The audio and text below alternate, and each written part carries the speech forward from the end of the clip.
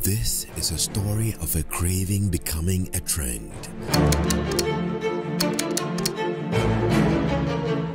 This is a story of believing food is actually more than just food.